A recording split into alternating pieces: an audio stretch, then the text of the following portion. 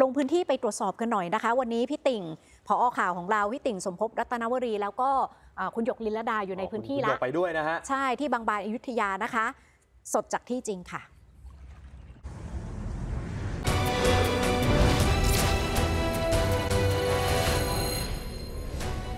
เชิญพี่ติ่งกับสวัสดีคุณหยกเลยค่ะค่ะ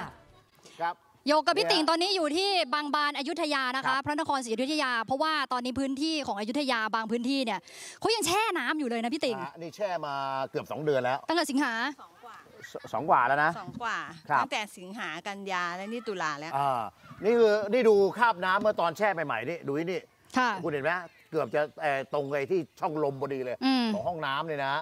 แล้วตอนนี้เนี่ยมันลดลงมาเหลือประมาณสักเมตรเศษๆนี่นะฮะค่ะนี่คือชุมชนทางช้างตำบลทางช้าง อำเภอบางบานจังหวัดพระนครศรีอยุธยานะครับ ค่ะ เพราะว่าบางบานเนี่ยเป็นที่รู้ว่ามันเป็นพื้นที่แอ่ง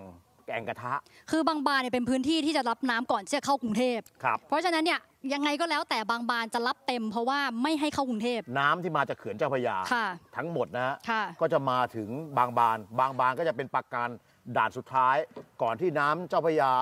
นะฮะทั้งหมดจะไหลเข้าปทุมนนทบุรีและก็กรุงเทพ เพราะว่าด้านนู้นเนี่ยตรงเนี้ยตรงด้านนู้นเนี่ยคือคลองบางหลวงครับคลองบางหลวงซึ่งตรงไปเนี่ยก็จะไปเจอบรรจบกับทางแม่น้ำทองอะไรนะคะ แม่น้ำน้อย แม่น้ำน้อย แล้วก็ไปที่เจอเจ้าพระยาที่บางไทรบางไทร แล้วเดี๋ยวจะเข้าปทุมธานีนเข้านปททุบุมรีกแอรุงนุเทพผ่านที่เขาเรียกสมัยก่อนเขาเรียกว่าลานเทสะเทือนก่อลานเทอ่าแล้วก็จะเข้าปทุมเข้านนทบุรี ใช่ เพราะฉะนั้นคนที่บางบานเนี่ยก็กลายเป็นคนที่ปกป้อง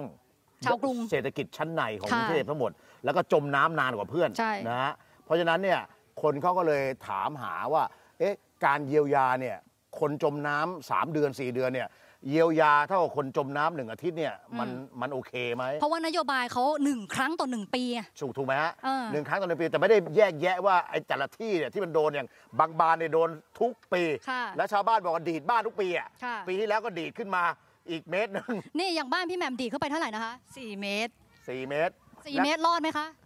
รอดอยู่ 4 เมตรอะแต่เสียเงินค่าดีดไปเท่าไหร่3แสน สามแสนโอ้โห แล้วคนทั่วไปจะมีเงินที่ไหนสามแสนไปถมดินเป็นฮะหนี้เป็นหนี้นี่นี่ขนาดดีดสามแสนนี่ยังเป็นหนี้นะอ่าฮะ กู้ตอนนั้นกู้เอ่อกองทุนหมู่บ้าน นี่ฮะก็เป็นหนี้แต่ว่าแต่คนเราเนี่ยมีจนไม่เหมือนกันใช่ไหม แต่สิ่งที่มีเหมือนกันก็คือเป็นพลเมืองของรัฐที่จะต้องดูแลว่า ถ้าเขาท่วมระดับนี้เนี่ยจะดูแลอย่างไรนะ ค่ะเพราะว่าที่บางบานเนี่ยเอาเฉพาะตำบลทางช้างเนี่ยท่วมร้อยเปอร์เซ็นต์ไหมพี่แหม่ม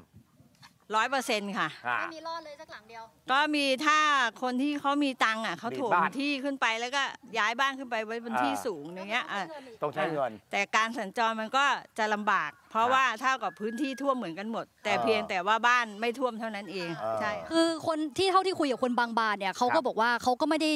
เอาจริงๆนะเขาเขาไม่ได้เรียกร้องถึงขั้นแบบห้ามท่วมเลยนะอืม เขายอมรับที่จะท่วมนะ แต่ว่ามันต้องสมน้ำสมเนื้อหน่อยอะเออเรามีเรามีเสียงใช่ไหม เสียงของรองนายกเทศมนตรีค่ะเอ่อตำบลบางบานลองลองเล็ก เออได้พูดไว้พูดความในใจอะไรไว้บางอย่างเนยค่ะ นะลองไปฟังดูครับ คุณมาให้เช่นเรือเนี่ยมาจากศักดิ์สิทธิ์อลอยเอ่อของรณโยบว่าบางบานเนี่ยในเขตเทศบาลเนี่ยมีหกตำบล เรียกว่าโดนน้ำท่วมเนี่ย สามเดือนบ้างสองเดือนบ้างสี่เดือนบ้างแล้วโดนร้อยเปอร์เซ็นต์ครับผมทำไมเป็นอย่างนั้นอะอ่าก็คือบางบานเนี่ย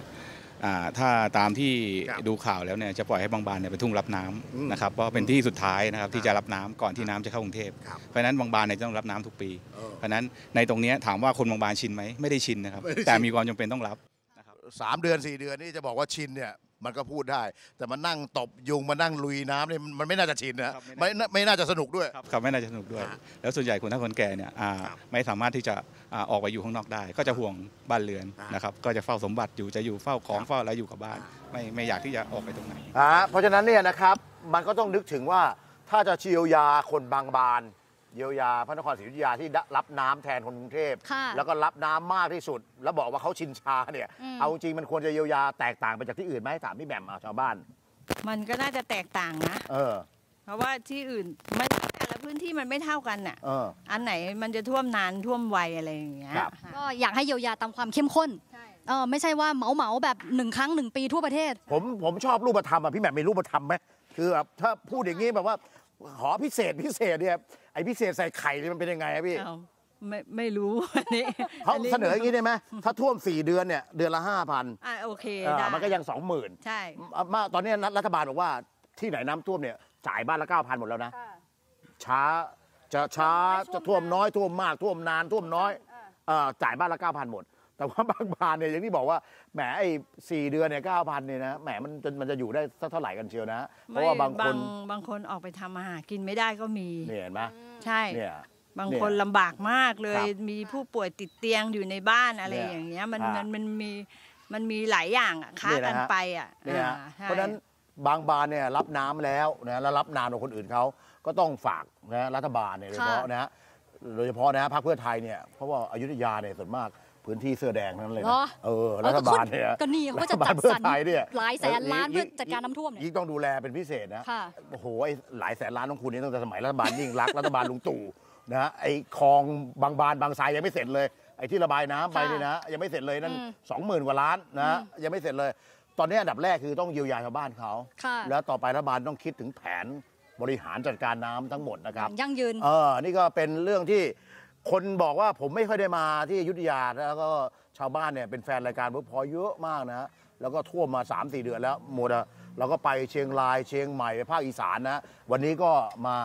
เอ่ออยุธยาเป็นปากเป็นเสียงแทนพี่น้องอยุธยา ค่ะ มารับฟังเสียงพี่น้องอยุธยาที่บางบานนะครับ ค่ะอันนี้เดี๋ยวไปหัวเวียงต่อ ครับหัวเวียงพื้นที่ต่ำรับน้ำก่อนไปอ่าทีหลังด้วย เอออม แล้วก็ลึกกว่าเขาด้วยใช่ค่ะ